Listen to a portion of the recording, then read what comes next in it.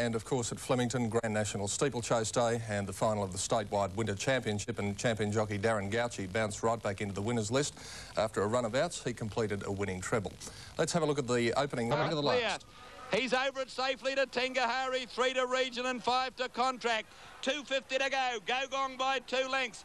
The Little Grey hanging onto the lead from Tingahari. Region running on well. A long gap to the Orchardist and Contract. Gogong tired. He's still two and a half in front. Region and Tingahari together. But Gogong, he's the leader near the line. He can hardly walk, but he's going to lead all the way. Gogong wins at a length to Region. A length and a half to Tingahari third. 15 lengths to the Orchardist. Here's uh, Sovereign Nation running on well, but Kiwi Slave's bursting away away in the run home. And Kiwi Slave wins a length and a half. Noble Cavalier. Gay Tulip got up for third and nose in front of Mistral Flyer. First of a winning treble for Darren Gauci on Kiwi Slave at sevens, Noble Cavalier nines, Gay Tulip 10 to 1, the favourite Arctic Wolf always well back at front. Game Trooper, but in the run home, Mandator running on well, but Colonial Flag wins by five lengths. Oh, a soft win. Second, Mandator. Third is Our Vanity. Four and showed that he may have been and was a class above his rivals.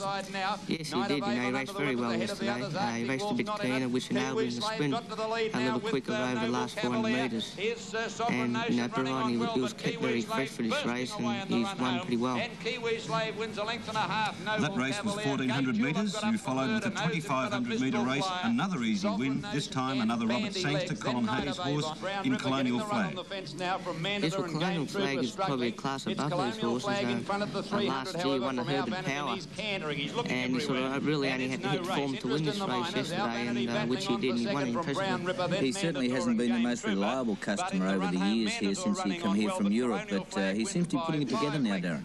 Yes, well, you know, since he's been down in Melbourne, he's been down in Melbourne for about eight days prior to this race. And it was back to a sprint distance at 1,200 metres of the Lawn Handicap and a win on No Laughing Matter at 16 to 1. Yeah, well, No Laughing Matter uh, was freshened up. He's been racing over slightly longer journeys and he did have a problem with his back and uh, the trainer said to me yesterday he seemed as though he'd come back and he should run a nice race.